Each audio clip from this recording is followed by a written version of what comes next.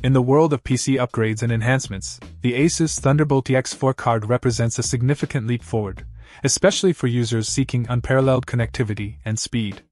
At the heart of this expansion card lies the Intel Thunderbolt 4 JHL 8540 controller, a powerhouse that brings the cutting edge Thunderbolt 4 technology to desktop PCs, offering a level of performance and versatility that was previously hard to achieve. Point one of the most striking features of the Asus ThunderboltEX 4 is its dual USB Type-C ports with USB 4 support. This isn't just about having more ports, it's about what these ports enable. With up to 40 gigabits S bidirectional bandwidth per port, the possibilities are vast. You could transfer files at lightning speeds, reducing waiting times significantly when working with large files such as videos or extensive datasets. Imagine connecting not just one, but up to five Thunderbolt enabled devices in a daisy chain configuration. This capability means you can streamline your workspace, reducing cable clutter while maintaining a high level of productivity.